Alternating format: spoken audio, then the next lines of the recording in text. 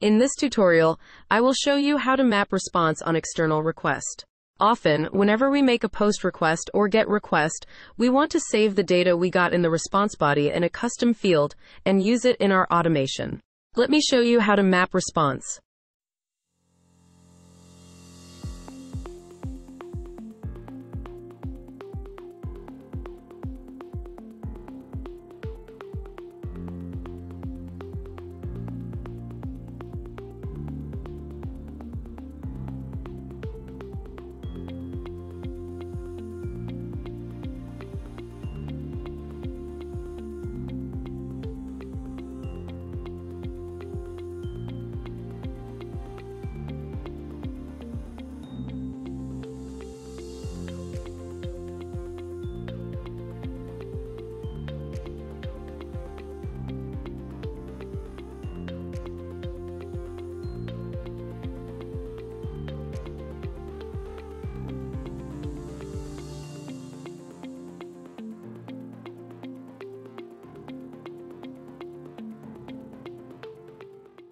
The response was successfully mapped.